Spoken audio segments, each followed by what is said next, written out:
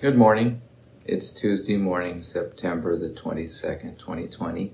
I'm Pastor Mike Custer, the pastor at Bible Baptist Church in Grand Forks, North Dakota, and I'm glad to be able to share some thoughts with you from God's Word today.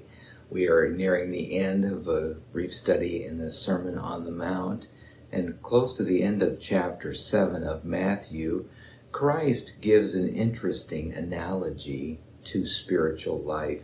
And the children sing a Sunday school song about it the wise man who built his house upon the rock and the foolish man who built his house upon the sand. And that's what this passage of scripture is about that I'll read to you from Matthew chapter 7, verse 24 to 27. Therefore, whosoever heareth these sayings of mine and doeth them, I will liken him unto a wise man which built his house upon a rock. And the rain descended, and the floods came, and the winds blew, and beat upon that house, and it fell not, for it was founded upon a rock. And every one that heareth these sayings of mine and doeth them not shall be likened unto a foolish man which built, which built his house upon the sand.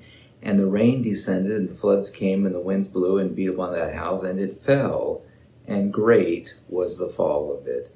And this passage of Scripture is about the foundation for our life. And the Lord was talking about responding to spiritual truths and basing one's life on it, building one's house, as it were, upon that solid foundation, and it will not fall when the storms of life come.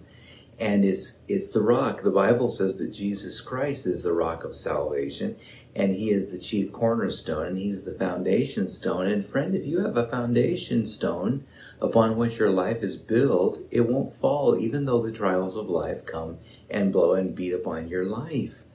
It's not on sand. It, has a sure and a, and a reliable foundation and it will stand strong. It's so important that we not build our life on things that are temporal, things that will pass away, things that are unreliable. You know, the economy is so unreliable and the stock market is up one day and down the next, and the price of gold and all of these commodities and everything else that people invest in and have so much stake in are so unreliable. But Jesus Christ never changes. He is the rock upon whom we should build our life.